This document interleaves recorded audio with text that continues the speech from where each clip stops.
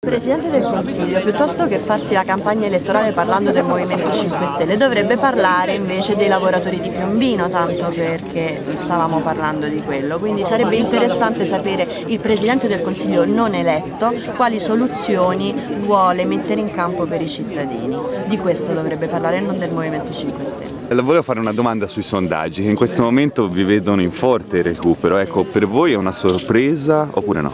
Ma a noi non era neanche una sorpresa quelli dell'anno scorso, nel senso che sappiamo che mh, non sono rappresentativi in un senso o nell'altro poi di quella che è la, la, la, vera tendenza al voto degli italiani. Adesso ci danno in crescita, ma noi non li guardiamo perché già lo sappiamo che siamo cresciuti tanto in questo anno e quindi per questo siamo sicuri della nostra vittoria, della vittoria dei cittadini alle elezioni eh, europee. Se il Movimento 5 Stelle dovesse essere il primo partito d'Italia uscito Quando dalle elezioni europee? Il primo partito, anzi la prima forza politica d'Italia, andremo da Giorgio Napolitano, Presidente della Repubblica, e gli andremo a chiedere di sciogliere le Camere e mandarci a elezioni.